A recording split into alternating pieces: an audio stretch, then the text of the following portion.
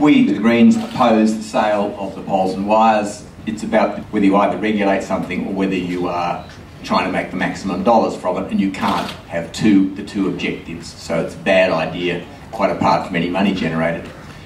I think the idea of building two-storey roads, digging a road underneath a road, freeways didn't work in the 1960s. The idea that we should go back 50 years and build two-storey roads is, to me and the Greens, one of the silliest things we have ever heard. We believe that there should be a proper rail network.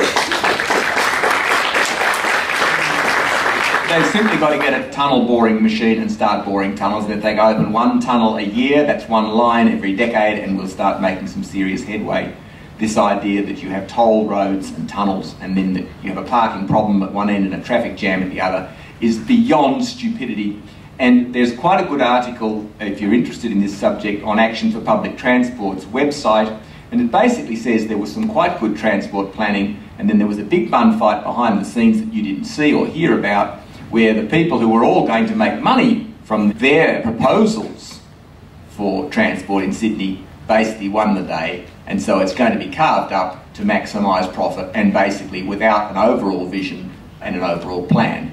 It's as if I was building a shed in the backyard, and instead of getting a plan and building it, I said, right, let's call all the tradesmen who want to sell me stuff and let them decide what's built. Because that's what we're going to end up with the transport plan under Mr Baird, I'm sorry to say. Thank you.